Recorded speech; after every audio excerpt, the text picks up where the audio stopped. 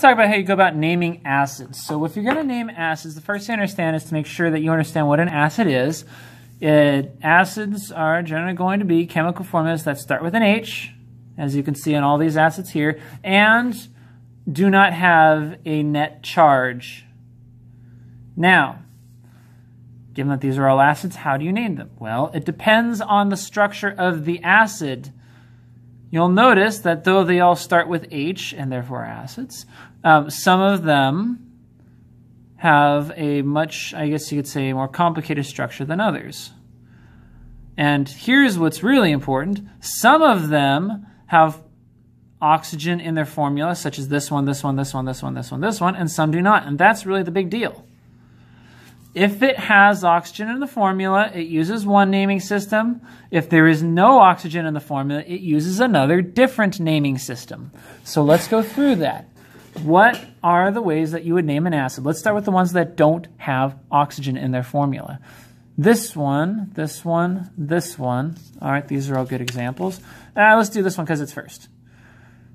So, if it does not have oxygen, the name starts with hydro. Guaranteed. Hydro, hydro, uh, you can't see that. There you go. Hydro and hydro something. This contains phosphorus, so I'm going to call this hydro phosphor, but instead of phosphorus, it's going to be phosphoric. Hydrophosphoric acid. So hydrophosphoric acid, P is a 3 minus, so it requires three hydrogens to cancel out its 3 minus charge. Now we look at the others. Sulfur is a 2 minus, which is why it has two hydrogens. Hydro, sulfur, and then we add ic, hydrosulfuric acid.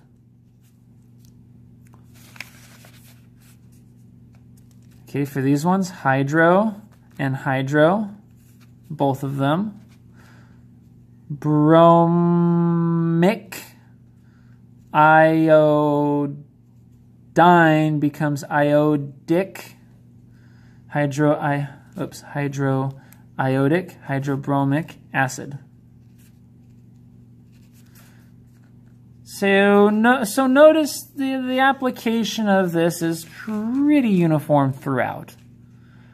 So that's relatively easy. The ones with an oxygen in the formula. For the ones that, sorry, the ones that don't have an oxygen in the formula, the ones that do, use a different naming system. For these, the name is based on the name of the anion. So these ones that do contain oxygen, the name of the anion determines how you're going to call it. So let's look. This is sulfate, and that's the name of the anion right there. This is phosphate. This is phosphite.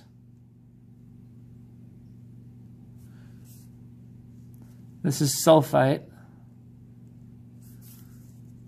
Nitrate and nitrite. That determines how you're going to name it because if the anion, this ate ending is there, so if this anion ends in ate, you're going to call it one thing. If it ends in ite, you're going to call it something else. So these two are going to sound similar, and they'll both sound a little different from this one. So what do you call it? You're going to, it's going to, again, based on this name. So sulfate is going to become sulfuric acid. And I'll point out that that ate ending is the reason why there's this ic ending right there. So likewise, that phosphate means it's called phosphoric acid. Now, phosphate, why do we not call it phosphoric acid? Honestly, I have no idea. But for whatever reason, they decided that phosphate is phosphoric acid, so there it is.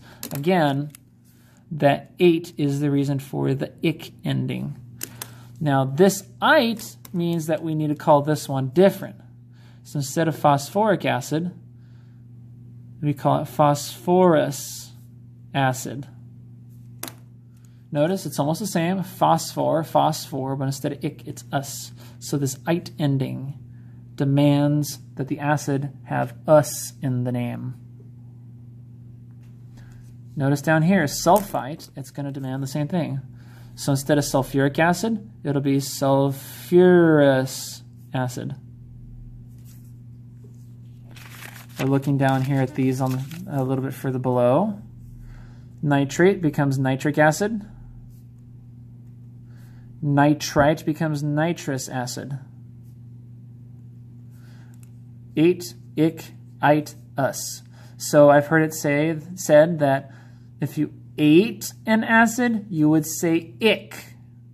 if it helps to remember, then feel that's a good one to use. If you ate an acid, you would say ick because, of course, if the anion ends in ate, it demands an ending of ik for the acid. Or if it ends in ite, it demands an ending of us for the acid. So that would be how you may handle the naming of the acids by looking at, first of all, making sure it's an acid, second, deciding whether it has oxygen or not, and then applying the proper naming system with us for an ite or ik for an ate if there is oxygen, or if there's no oxygen, make sure it starts with hydro, ends with acid, and has ik for an ending, as you can see these other ones do. Fair enough. Now, how about this? So how do you take a, form, a name and change it into a formula? Well, let's start with hydrofluoric acid. What does this tell us? This hydro part means there's no oxygen. Fluoric tells me fluorine is involved, and acid tells me there's an H there. H is a 1 plus, fluorine's a 1 minus. So I need one of each, as you can see from me crossing the numbers. Therefore, the formula is HF, hydrofluoric acid. Um, you can use this for anything, by the way. Hydro uh, selenic acid. Selenium is a 2 minus ion. So, hydro, no oxygen. Selenic, there's selenium. Acid starts with H. H is a plus, selenium is a 2 minus. You need two hydrogens, one selenium for H2SE. Hydroselenic acid. All right, now let's go over to the next one. Bromic acid. Involves bromine. Hydro is not there, so that means that this is not going to be HBr. Oxygen is in the formula somewhere.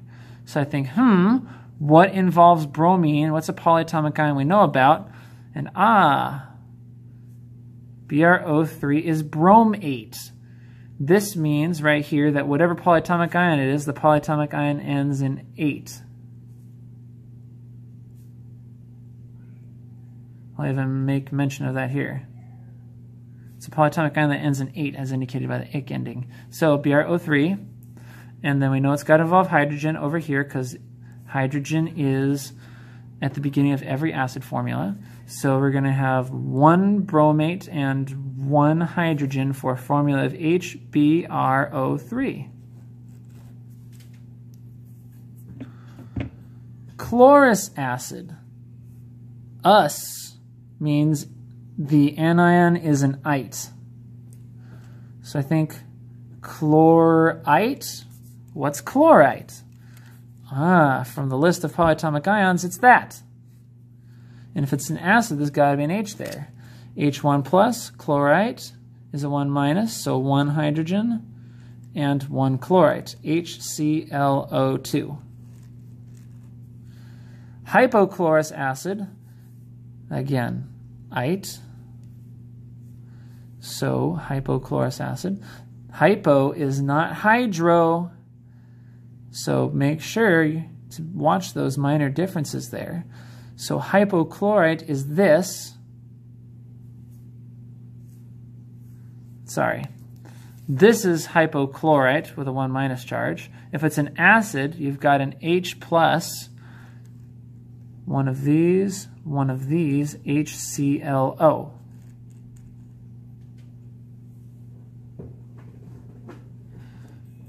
Okay, permanganic acid. Ick means the polyatomic ion ends with ate. So permanganate, and there's no hydro, so there's an O in there. Permanganate, MnO4 minus. Acid, so starts with an H. They're both 1 plus, one of each HMNO4. Sulfuric acid. That's an ate ion, or sulfate, SO4 2 minus. It's an acid. It contains hydrogen. So we switch the charges with one sulfate and two hydrogens giving H2SO4. Because of the 2 minus charge, you need two hydrogens to balance it out. The 1 minus charge requires one hydrogen, the 1 minus charge requires one hydrogen, the 1 minus charge requires one hydrogen. Always had to pay attention to the minus charge in order to figure out how many hydrogens to add. So we look at sulfurous acid. Whatever that polyatomic ion is, it ends in ite, as in sulfite, as in SO3 minus, sorry, 2 minus. Add hydrogen to the beginning. You're going to have two hydrogens and one sulfite, giving you a formula of H2SO3. Let's make that clearly an O. Right, so this is the general sort of process you'll use, and anything. You can use any this for any sort of thing that we've covered in this class. For example, what if you have carbonic acid? Again, no hydro, so oxygen's in there. Carbon 8 would be in there. CO3, 2 minus, H plus one carbonate, two hydrogens, H2CO3, carbonic acid. All right, so it's generally applicable formula. That's how you do it in terms of taking these uh, names and turning them into a chemical formula. So there we are, ladies and gentlemen. Happy studies.